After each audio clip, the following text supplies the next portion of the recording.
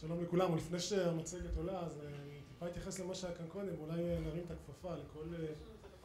כן, רק במילה, כן,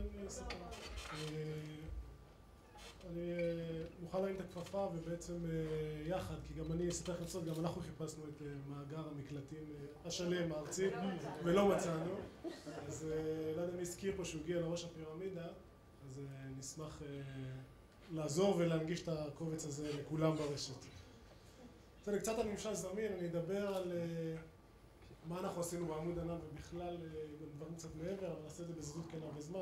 קודם כל, ממשל זמין זה גוף ששייך לאגף התקשוב במשרד האוצר. אנחנו בעצם מפתחים פלטפורמות טכנולוגיות שהמטרה שלנו להגיש את שירותי הממשלה ולהקל על הנטל הבירוקרטי. מבצע עמוד ענן, כחלק מהפעילות שלנו, הפעילות שלנו מתחלקת בעיקרה לשני תחומים. אחד, אנחנו בעצם ה-ISP הממשלתי. רוב אתרי הממשלה מתארחים אצלנו ואנחנו עסקנו לאורך כל עמוד ענן במה שנקרא בהגנה, בעולם וירטואלי, התרחשה מלחמה לא פחות קשה, אמנם אין בה אבדות בנפש נכון להיום, אבל היא הייתה לא פחות קשה גם בעולם הווירטואלי. אנחנו זיהינו במהלך הלחימה תקיפות מכ-188 מדינות, אפשר להגיד שכמעט גילינו כל מיני מדינות קטנות שמעולם לא שמענו עליהן לגלובוס, גם הן תקפו אותנו. אתה אומר אותנו, אתה מדבר על אתרי הממשלה אתרי הממשלה, אני מדבר על אתרי הממשלה, היו פה חברים מהצבא, גם אתר דובר צה"ל נמצא אצלנו וגם השיתוף הפעולה בין מאחורי הקלעים, לא רק הצד של הניו מדיה, גם ההגנה על אתר דובר צה"ל והשיתוף פעולה היה מדהים בינינו לבין הצבא. אתם יכולים לראות פה קצת מספרים, זה לא דברים שאפשר מה שנקרא למדוד בצורה מאוד ברורה, כי לא, אי אפשר לדעת בדיוק מי התוקף, איך הוא תקף, מאיפה הוא הגיע, אבל כמובן שהסממנים השלטוניים, גם בעולם הווירטואלי, הם אלה שמושכים את עיקר האש. יכולים לראות פה את אתר בית הנשיא, אתר ראש הממשלה, אתרי מערכת הביטחון למיניהם, הם אלה שספגו את מרבית התקיפות. גובה היה לך כל מה שהשקיעו, זה כל ההתקפות. אנחנו נעבוד על זה יותר טוב בפעם הבאה.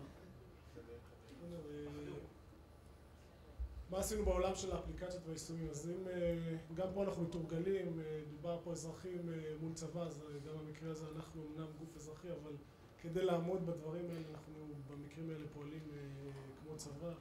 מיד עם תחילת המבצע אנחנו הבנו שזה הולך למקומות האלה, כולם, אפשר לומר, נכנסו לתרגולת ולתחילת מה שנקרא הערכות לקראת התקיפות האלה, אבל גם פעלנו במישור השני שהזכרתי קודם, שזה עולם האפליקציות והשירותים. אנחנו העלינו פורטל חירום, מי שזוכר, דרום gov.il, הוא עלה לאוויר ביום למחרת, מה שנקרא, אותו חיסול שהיה ביום רביעי אחר הצהריים, ביום חמישי בשעה שלוש כבר האתר הזה היה באוויר. באופן טבעי, הגופים הממשלתיים האזרחיים נכנסים, יש להם רלוונטיות במקרה חירום, פרק זמן מאוחר יותר אחרי גופי הביטחון. זאת אומרת, בהתחלה מי שלוקח את הפיקוד על כל מה שנעשה במדינה זה משרד הביטחון, פיקוד העורף והצבא, ורק לאחר מכן מגיעים משרדי הממשלה בטיפול באזרחים, בנפגעים, בכל מה שקשור למיסים, באמת הערכת נזקים ותשלומים לאזרחים. אז הפורטל הזה, המטרה שלו הייתה קודם כל להנגיש אותו לציבור, לנסות בשפה שלנו לתכלל את כל המידע הממשלתי ולהגיש אותו בצורה מסודרת, היה שיתוף פעולה של כל משרדי הממשלה ובהמשך גם של הרשויות המקומיות. זה הפורטל, אנחנו שילבנו בו מאוחר יותר, כמובן גם מותאם למובייל, מתוך הבנה שהמידע הזה גם צריך להתנגש לציבור שנמצא בדרכים, במקרה הזה גם HTML5 היה מותאם גם לאייפון וגם לאנדרואיד. שולבו בו פורומים, בהתחלה שיתפנו פורום שבעצם הציבור יכול לשאול שאלות ואנחנו ענינו, הפנינו את זה למשרדים הרלוונטיים שענו. בשלבים מאוחרים יותר גם היה שילוב, וזו הייתה איזושהי בקשה של הציבור, שילבנו פורום של הצעות, זאת אומרת, אזרחים פנו וביקשו לארח כל מיני משפחות מהדרום וכל מיני נושאים נוספים שבעצם רצו לתרום, אז הייתה שם הפלטפורמה שבעצם שיתפו מידע. עוד מילה אחת ואני מסיים. מעבר לעמוד ענן, יש גם דברים שנקרא להם שהם בשגרה, שאנחנו מתמודדים איתם ביום יום. במקרה הזה, דוגמה, מי שזכור לו, סוגיית האקר הסעודי שחשף מספרי כרטיסי אשראי ומידע פרטי על אנשים.